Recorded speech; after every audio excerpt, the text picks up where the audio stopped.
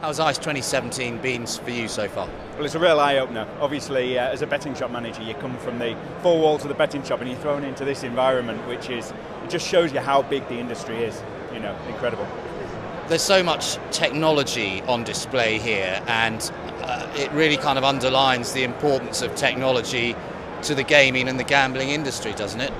Yeah, of course, you've got to keep up with the times. Um, I've always said that the betting industry is one of the most innovative and exciting businesses on the high street, but obviously it's not just on the high street now, it's online, it's in your pocket, on your mobiles. So we've got to keep up with what the customer wants, what the customer demands. Um, and it's great to see here. We went to some of the ICE VOX conferences earlier and they basically said, we're all tech companies, which in a way, yeah, I agree with that. Uh, tell me then briefly about the award that you've recently presented with. What, what is the award and, and tell me about it? So basically, um, it's been running for 28 years. Um, it's sponsored by the Racing Post and SIS, and it's, it basically celebrates people who work in the betting shops, particularly the managers. Um, I work for Betfred, uh, and I was the first one ever for Betfred to win it, so I was absolutely thrilled to, to get the award.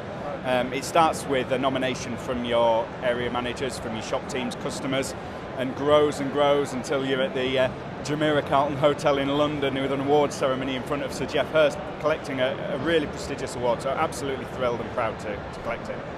Congratulations. And then lastly, your stand looks pretty full right now. It's getting toward the end of the day. But what do you want people who have visited your stand to take away with them about Racing Post?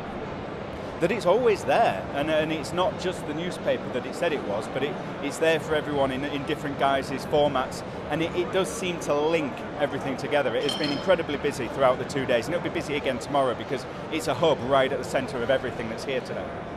Thanks, Rob. Thanks very much.